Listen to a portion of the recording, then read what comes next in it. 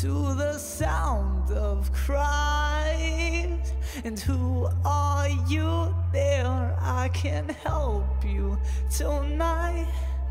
And show who you are, so I know not to fight.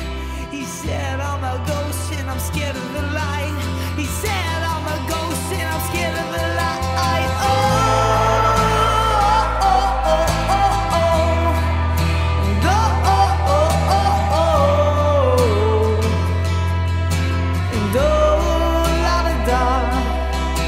And